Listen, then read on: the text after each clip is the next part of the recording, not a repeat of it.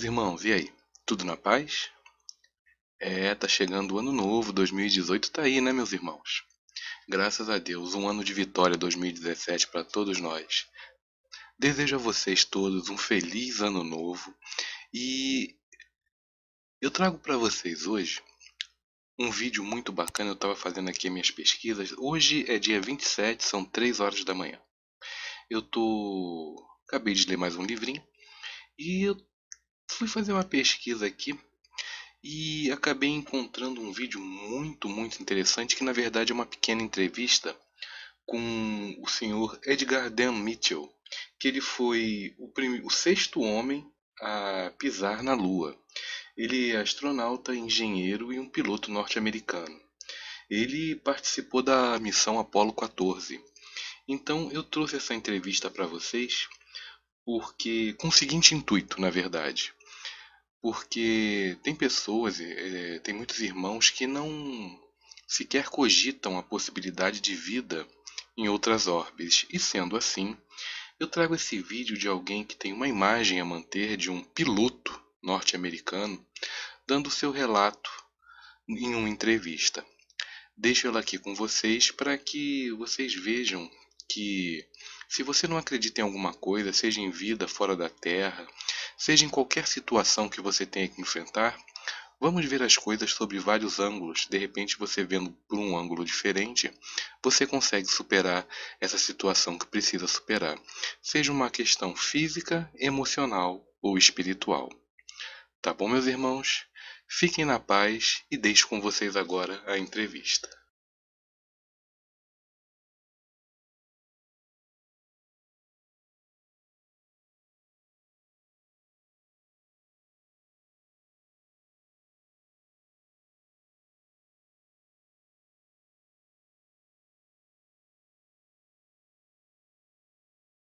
Further than that. Do you believe in life on other planets? Oh, oh yes, there's not much question at all.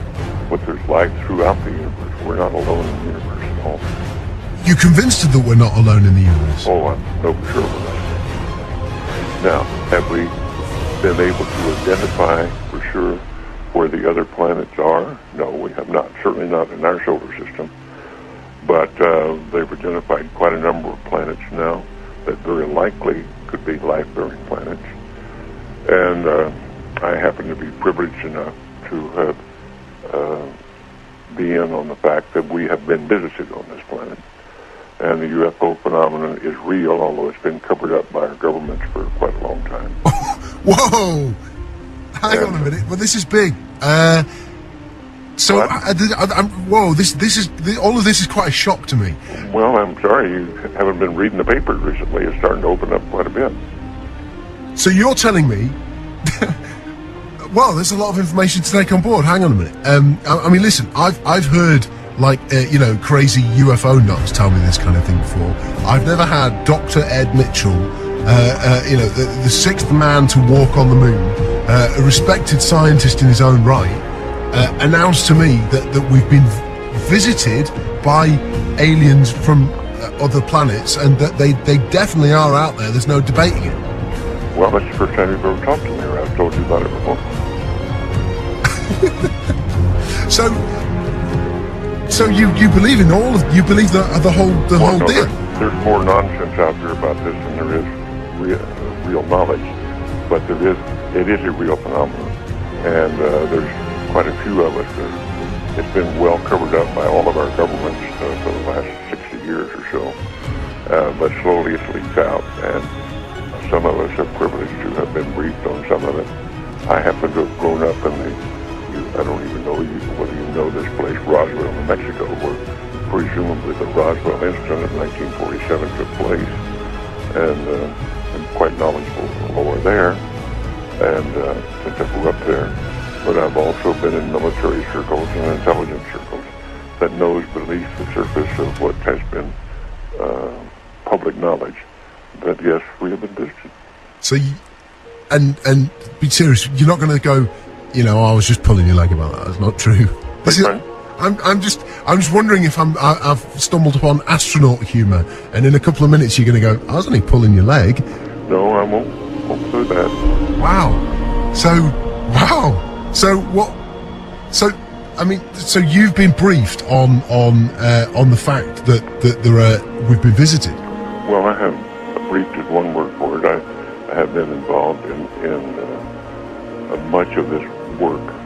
Uh, now, it's not my main work. It's not my main interest, but I have been deeply involved in certain committees and certain research programs with very credible scientists and very um, intelligent people that uh, do know the real inside story, and I, I am not uh, hesitant to talk about it. What is the real inside story? Well, I've just been telling you, we have been visited.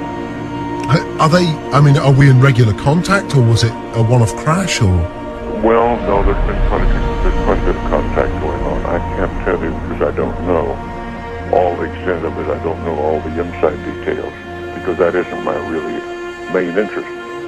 But the fact that we have been visited, the Roswell crash was real, and uh, numbers of number of other contacts have been real and ongoing.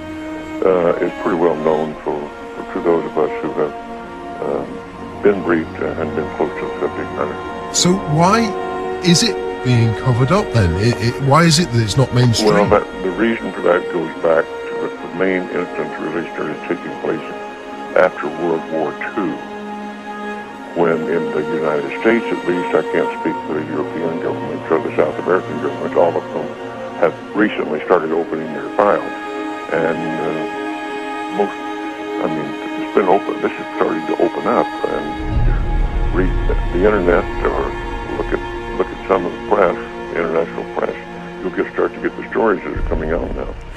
But- but um, I've, I've, I've had people on the show telling me that we're that, that the governments are mounting up towards disclosure, to, towards saying that this is the case. Do you think it will be the case that there will be an actual disclosure on this, maybe this year, that, that the I governments don't know will whether mount? it'll be I don't know whether it'll be this year in the United States, but certainly we've already had it in the last few years from the Belgian government, the French government, the uh, Brazilian government, the Mexican government.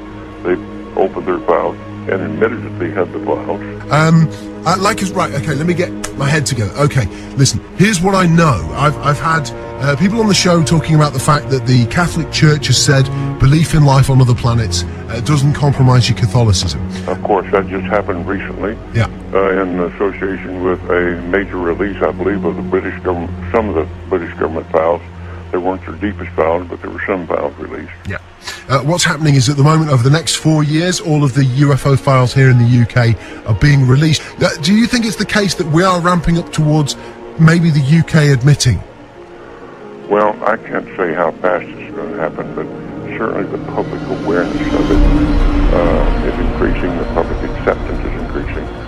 The amount of uh, misinformation and uh, covert ap- attempts to cover up seem to be decreasing. Uh, I, I think we're headed to, toward real disclosure, and some very serious organizations uh, moving in that direction. What do you, you've had a long time to think about this? What do you think the impact will be on the world when it is finally mainstream news that there are alien beings that live outside this planet? Well, I think uh, at this point it's probably ho hum, so what's new? I think that uh, uh, certainly in the United States, there's well over 70% of the people now accept this as fact, although they may not, they do not know the um, all the correct story. They do know that there has been, uh, or accept the fact that there has been visitation and that there's UFOs in the skies all the time that are very likely alien craft. Now, not all of them are. I suspect some of them are homegrown. I suspect that in the last 60 years or so, that there has been some uh, back engineering and the creation of this type of equipment, but it's not nearly as sophisticated yet as uh, the apparent visitors have. So, as part of this, uh, I mean, as part of you knowing about this, and and also going public with it, are you worried for your own safety with this kind of stuff, or, or are you convinced that the Oh no, I think those days are gone. That, that used to be a concern among the people on the inside, but uh, I don't think they're knocking anybody off for that anymore or uh, uh, doing drastic things to them. What do you think the intent of the uh, aliens is? Is it hostile or peaceful? No, no, no. It's it's uh, not hostile. It's pretty obvious that if it were hostile, we'd have been gone by now.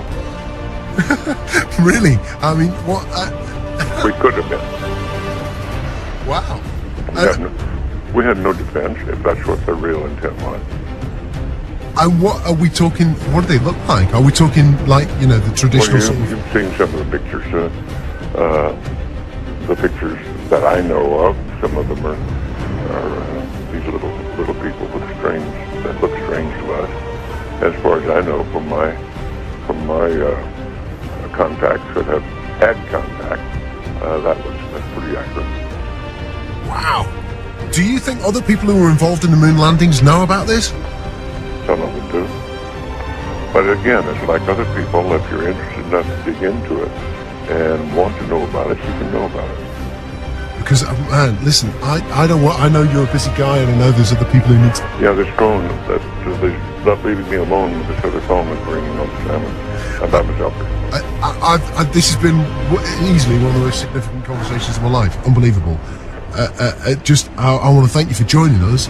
You man, And uh, Dr. Ed Mitchell, that's that's. A, uh, listen, you're a friend of the. E aí, meus irmãos, o que, que vocês acharam? Interessante, não? Bom, meus irmãos, não esqueçam de conhecer o site da Rádio Reforma Interna EAD.